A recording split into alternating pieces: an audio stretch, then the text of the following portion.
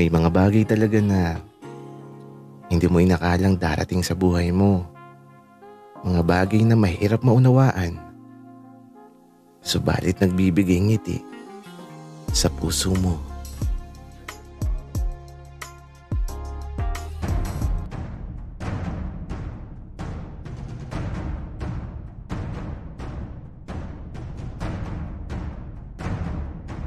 Kaibigan, huwag mong kalimutan mag-subscribe sa aming channel at huwag din kalimutan i-click ang notification bell at subscribe button. Subscribe na!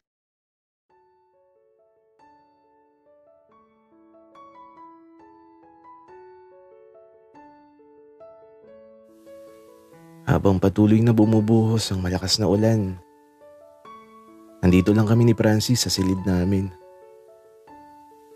Kaya lang, medyo nag-aalala ako. Kasi nung mahiga ako sa tabi ni Francis, naramdaman ko na sobrang init ng katawan niya. Parang nilalagnat si Francis pero okay lang naman daw siya. Nag-alala tuloy ako Baka kasi dahil sa pagligo sa ulan kaya nagkaganon siya. Kaya lang, ang arte ni Francis. Ayaw niya na nakahubad ako sa tabi niya. eh ano naman kung nakahubad ako? Wala namang masama.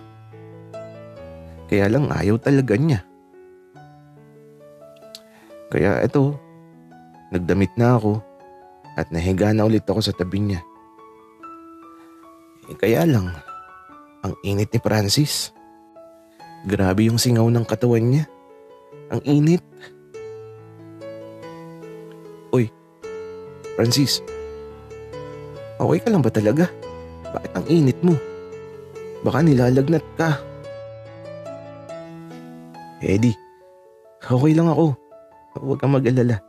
At saka Manahimik ka na dyan. Matutulog muna ako. Okay, sige. Tatahimik muna ako para makatulog ka na. Ewan ko ba kung matutulog talaga siya. Nakapikit kasi ang mga mata niya. Baka inaantok talaga. Ako naman eto, nakahiga lang sa tabi niya. Ang sarap talaga mahiga dito sa kama ni Francis. Mabango kasi. Kaya habang gumagawa ng tulog si Francis, ako naman eto, kachat ko ang mama niya na kinakamusta si Francis. Sabi ko naman eh, ayos laang si Francis dito. Natutulog kasi malakas ang ulan. At ito, Nag-selfie pa nga ako habang magkatabi kami sa kama. Tapos, ipinakita ko sa mama niya. At taba, yakapin ko daw si Francis para hindi lamigin. Ay nako, natatawa na lang talaga ako sa mama ni Francis. Napakakulit.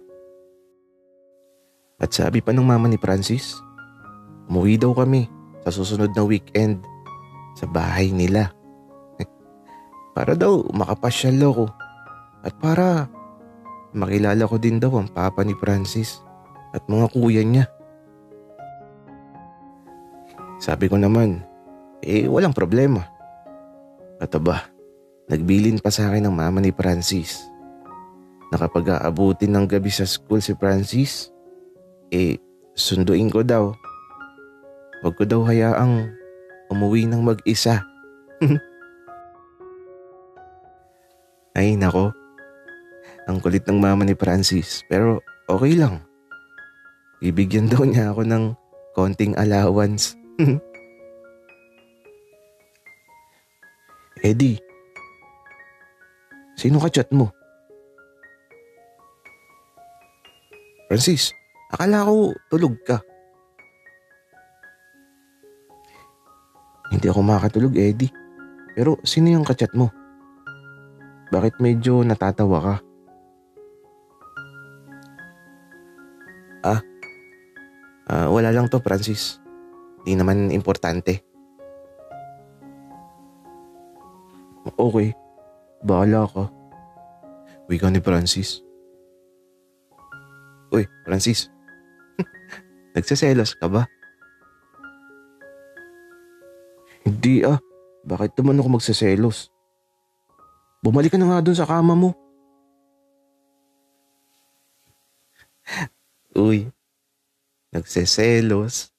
Sige ko, kapag pinilit mo akong bumalik sa kama ko eh, yayakapin kita dyan. Ewan ko sa'yo, Eddie. Bumalik ka na sa kama mo. Kaya eto, niyakap ko bigla si Francis at tubo. Nanlalaban. Eh mas malaki ako sa kanya. Kaya wala siyang magawa. Ano, Francis? Gusto mo din namang magpayakap eh. Sige, yayakapin kita. Ang kulit mo eh. Oh, Eddie, sisigaw ako. Bahala ka. Walang makakarinig sa'yo, Francis. Malakas ang ulan. Di ka maririnig ni Aling Yoli. Bitiwan mo ko, Eddie. At saka, ano yun? Ano, ano yung tumitigas?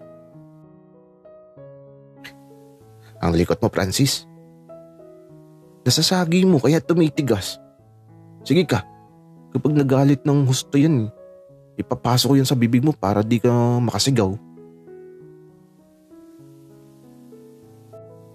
At eto, biglang natahimik si Francis. Ang likot kasi niya. Nasasagi tuloy si Utoy.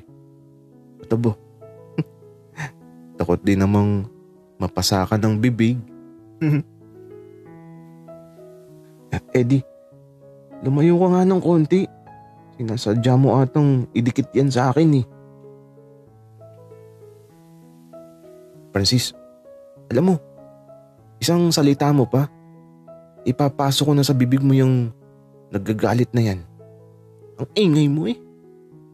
Tara na matulog. Bika ako. At eto, hindi na nagsalita si Francis. Ako naman, nakapikit lang ang mga mata habang nakayakap sa kanya. Ang sarap yakapin ni Francis. Ang init ng katawan niya. At saka, utos yun ng mama niyo. At habang tahimik siya, tanging malakas na pagbuhos ng ulan ang maririnig mo sa bawat sulok ng silid namin ni Francis. At dahil malamig,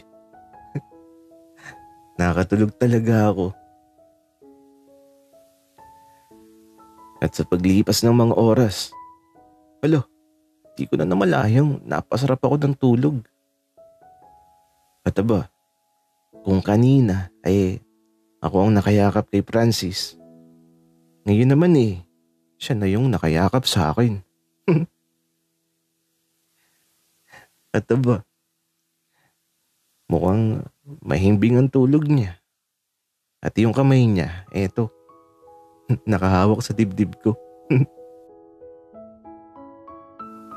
Pero teka, anong oras na ba? Hala, 4pm na pala ng hapon at tumila na din ng malakas na ulan. Kaya lang, tulog pa si Francis. Kaya eto, di na muna ako babangon. Baka magising si Francis eh. Pinagmamasdan ko lang siya habang natutulog. Ang cute kasi. Para talaga siyang tomboy. Parang ang sarap ligawan. Kaya eto, nagkumot ako. Medyo nilalamig ako eh. At yung kamay ni Francis, inilipat ko sa pagitan ng mga hita ko. si Uti muna ang damahin niya. Pero teka lang, what if ipasok ko sa loob ang kamay niya? teka nga, susubukan ko.